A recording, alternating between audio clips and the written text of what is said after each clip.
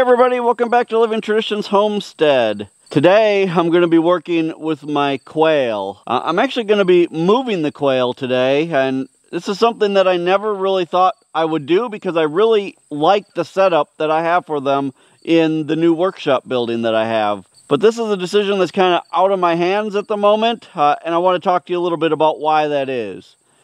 Uh, many of you know that back in June, Sarah and I both had COVID. Uh, it wasn't bad. Uh, in fact, for the first few days, we didn't even know we had it. Um, it was, I believe, probably the Omicron variant. Uh, nothing, it, it, wasn't severe at all.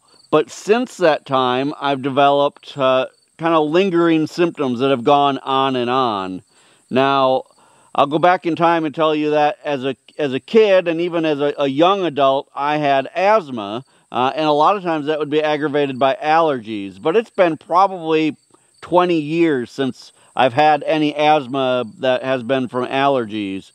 Well, ever since we had COVID, uh, that has come back.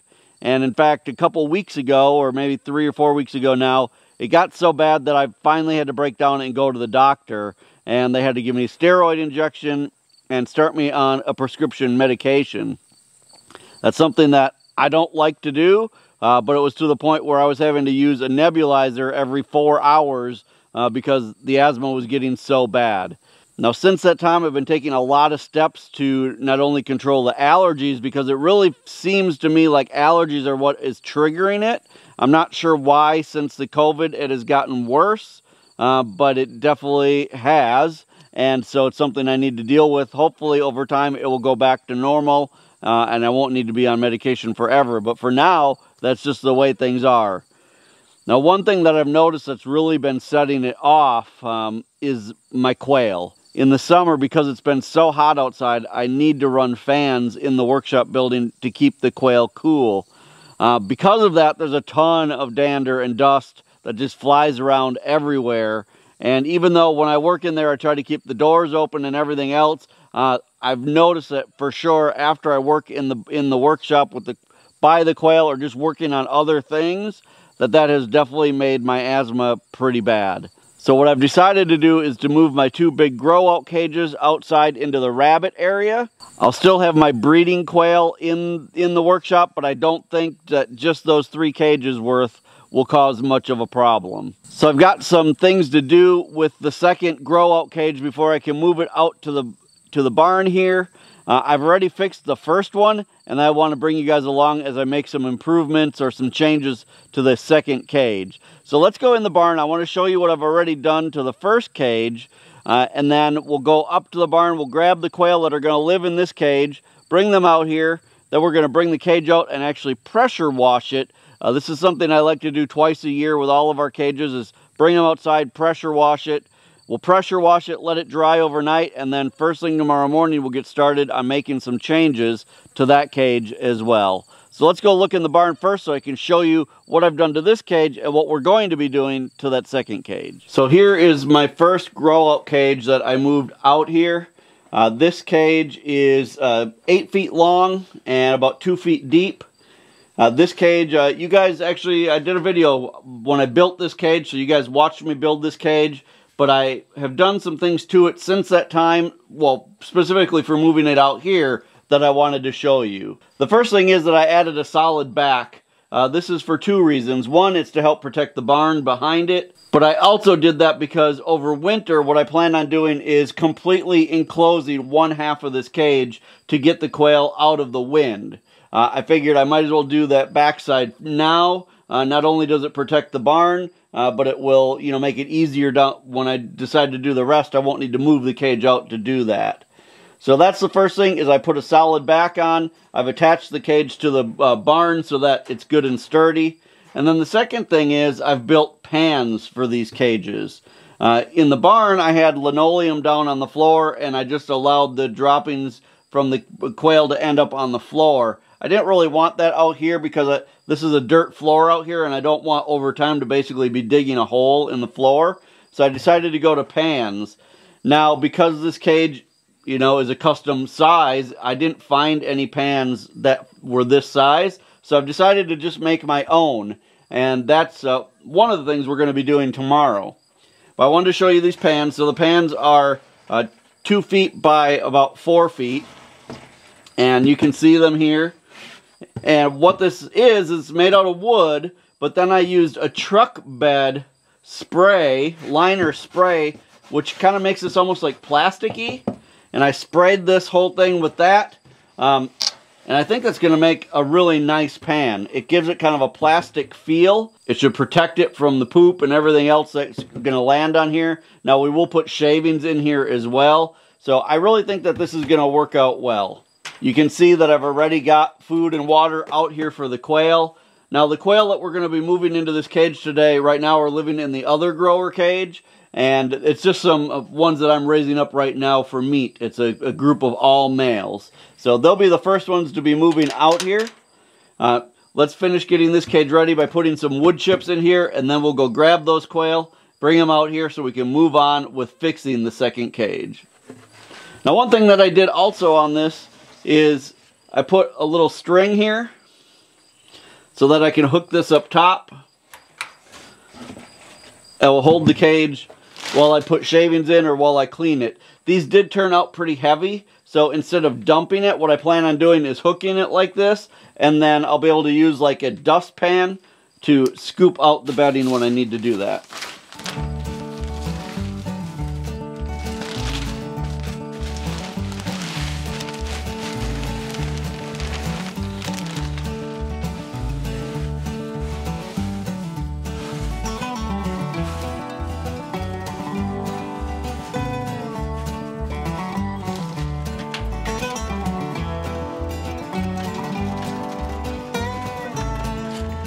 We're gonna have to count these as we put them in because I'm not even sure how many are here to be honest.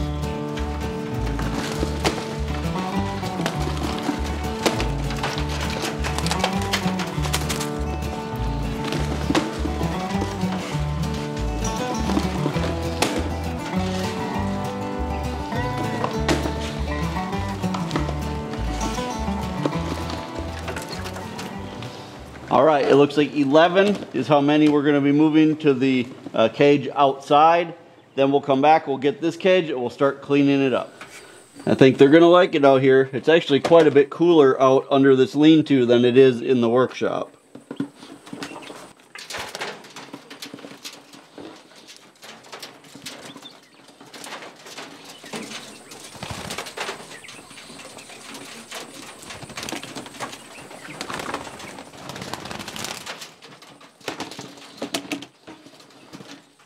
All right, they have everything here.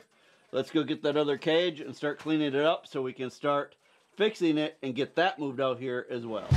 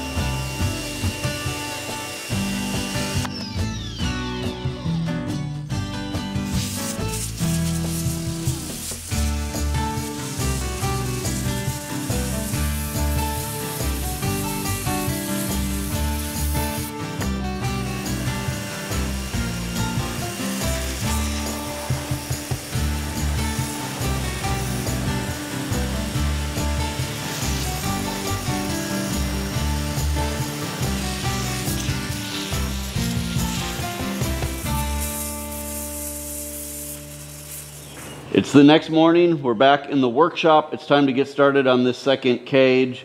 I brought the cage in overnight so that it could dry, uh, finish drying from washing it. It looks like it turned out really well as far as how it cleaned up. So I'm glad about that. It's good to do that to the cages a couple times a year just to, you know, get all the excess stuff off that you don't get on daily cleaning. So the first thing that we're going to do today is we're going to add some center legs to this because we need that in order for our trays to be able to slide in and out. Uh, if it's the same as our other cage, it's going to be about 46 inches. But because, you know, when I build things, not everything turns out exactly the same every time. I'm going to remeasure each piece as we go. So I think this is going to be 46. Yes, 46 inches. And we want this to go to the outside here because that's the way that the legs on the ends are and that way we'll have everything uniform. So we're going to cut two pieces of 2 by 2 into 46 inch lengths and then we're going to attach those. I've already gone ahead and uh, ripped some 2 by 4s into 2 by 2s so you guys didn't have to watch me do that. So we're just going to get started right away on fixing this cage up.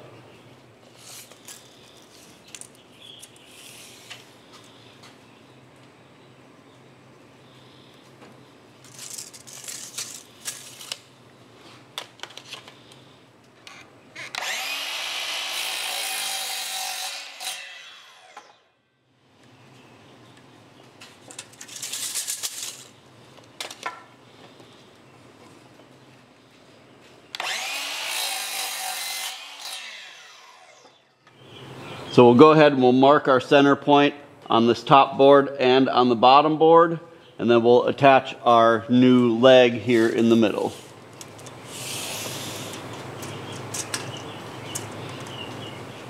And when working with 2 by 2s I like to pre-drill everything with a pilot hole so that they don't split.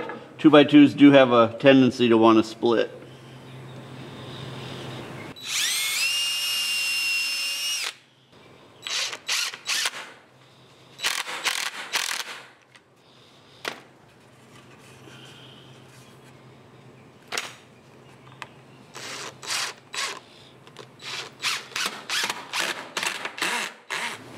Now that we have those center legs attached, the next thing we're going to do is we're going to add a piece of 2 by 2 that runs from the front to the back. This is the back of the cage, by the way. I have it turned around right now. Uh, so it's going to run from the front to the back. Uh, we're going to do one on each side of these and then one on each end. That's, that will be where the trays slide in and out.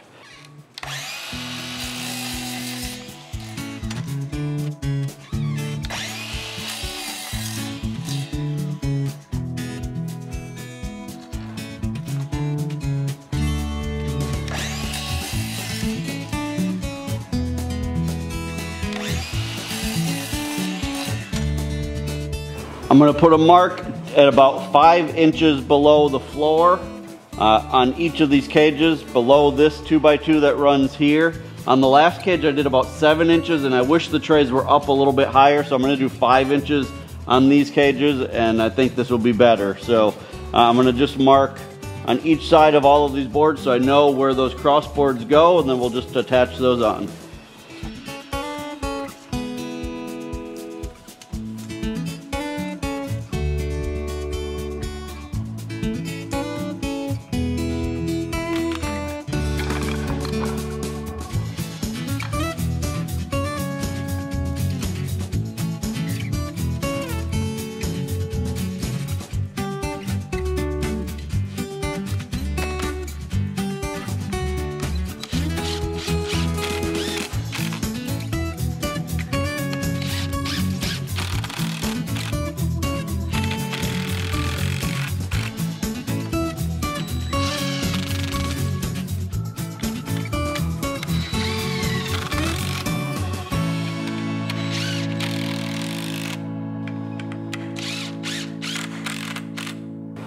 All right, those are attached. The last thing that we're going to do before we start actually building the trays is we're going to put a solid back on this cage. Again, I'm doing that so that in the winter when I want to enclose half of this, I don't have to pull the cages out of the barn to work on the back. This will already be enclosed or this will already be solid and it will help protect the barn from any waste that might hit up against the barn. So let's cut a piece of plywood. I'm doing this all with scrap materials that we've had around the farm, so uh, it's by no means a new piece of plywood, but let's go ahead and attach a piece of plywood to the back.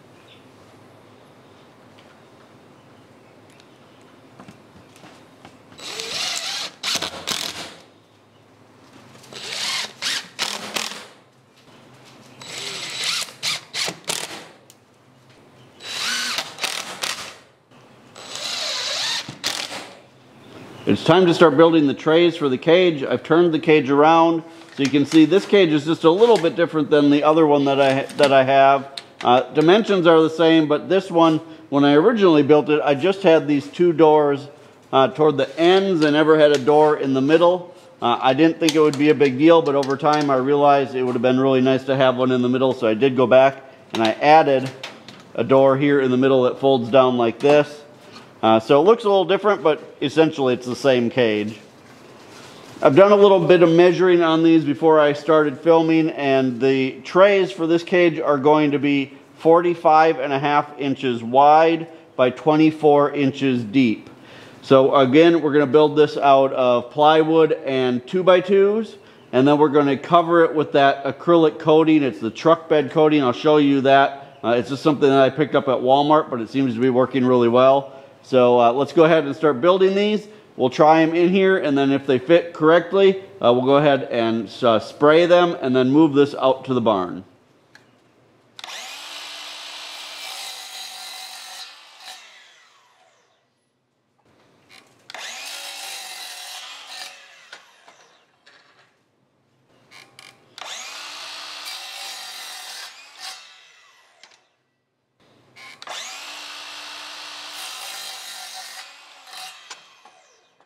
All right, for putting these together, we're not really going to do anything uh, extraordinary. Uh, we're just going to screw these together. And then the plywood on the bottom, I'll put a lot of screws in that, and that will really hold everything together.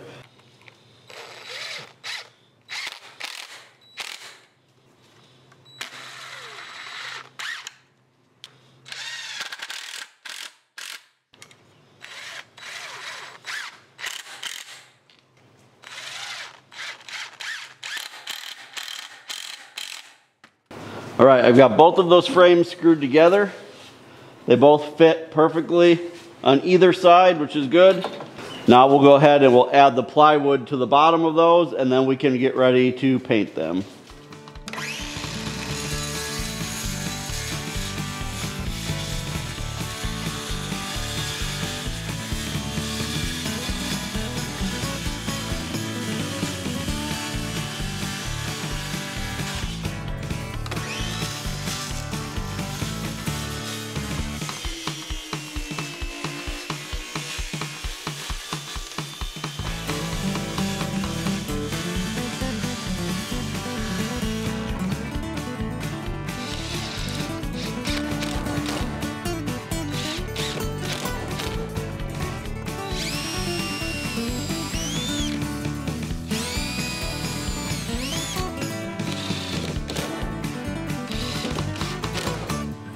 Right, I've got our two trays set up here outside. Now, this is what I'm going to be using to paint these. It's called Krylon Truck Bed Coating. Again, uh, this is just something I picked up at Walmart. I was in the paint department looking at all the different options. I thought maybe some of that like rubberized, like uh, flex seal type stuff might work. But when I saw this, and I think it's a harder, more plasticky type feel, uh, this is what I decided to get, and it worked really well on those first two that I did. Now, I'm only going to be spraying the inside of the pan and the and these ridges on top. I'm not spraying the bottom and everything because this stuff is about, I know, it's like almost $11 a can, like $10.50 a can. And it takes almost an entire can to do one tray. So uh, at that price, I'm not going to do more than I have to. So it'll be the inside of the pans that gets the most wear and tear. So that's what I'm going to be doing with this stuff.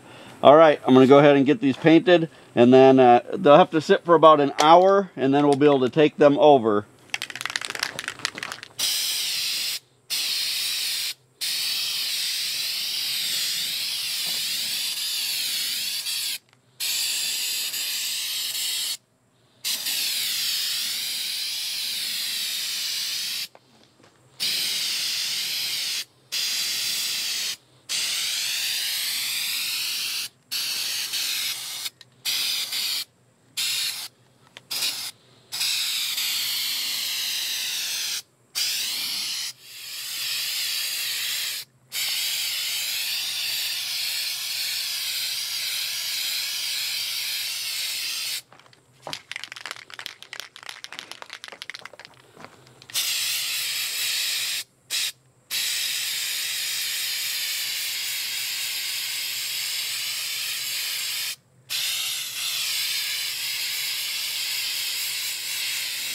It's been about an hour for these trays drying outside. They are dry to the touch, so that is fine for uh, moving them.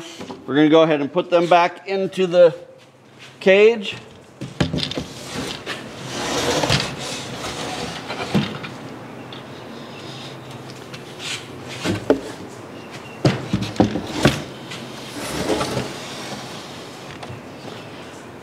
I'm gonna go grab the tractor. We're gonna take this over to the barn. We're gonna get this cage set up next to the other. And now, I don't have any quail to put in this cage right away today. I'll be doing another big hatch soon. But typically, I fit about 35 to 40 birds in each one of these grow out cages. So by having these in the barn instead of here in the workshop, I'll be down to having just my cages of breeders here in the workshop, which is three cages, six birds in each cage, so about 18 birds. Um, that should be a manageable amount of dust and things, I think, here in the workshop. Uh, but I'll be getting these out, which saves me at times close to 100 quail that I would have in here otherwise. So uh, it's going to make a big difference. Uh, I can tell that already just by moving the ones out yesterday and and doing some cleaning in here. It's going to do it's going to make a big difference in the air quality here in the workshop. All right, I'm going to grab the tractor, get this moved, and I'll see you guys over in the barn. I got the new cage moved in. It fits perfectly where I want it. Uh, right next to the cage that we brought out yesterday. Looks like the pans turned out perfectly. They're going to work great in here. Uh, the quail that we brought out yesterday are doing great. Uh, they had a good first day in here. Uh, you guys, it's actually so much cooler in here than it is in the workshop building. So I think the quail are going to be very happy and healthy in this environment. There's a real nice uh, natural breeze that goes through here because the two ends are fairly open, uh, but they are completely protected from the weather. Again, in the winter, uh, if I have quail out here in the winter, because these cages won't be used 100% of the time. This is for only when I'm raising up batches of them to either sell or to raise for meat. So there will be times when these cages are completely empty. But over winter, I plan on completely enclosing one half of each of these cages so that uh, the quail have a way to get out of the wind. Uh, the cold really won't affect the quail. Uh, quail can take some pretty cold temperatures before it affects them. Uh, but as long as you can keep them, you know, so they're not getting wet and they're out of the wind, they'll be just fine. So you guys, I'm excited to have this project. I hope this helps some of the breathing problems that I've been having. Um, seems like the medication's helping for now, but I don't want that to be the long-term fix. I want just a healthier environment in general. So uh, I think this is going to be a good solution to this problem, and I'm glad that you guys came along today while we fixed these cages and got them moved out here to the barn. Hey, if you're enjoying our videos and you're enjoying the type of lifestyle that we live, I hope that you'll hit that subscribe button before you leave. And don't forget, as always, the absolute best way that you can help our channel is just by sharing our videos on all of your social media. Until next time, thank you so much for stopping by our homestead. Take care, and God bless.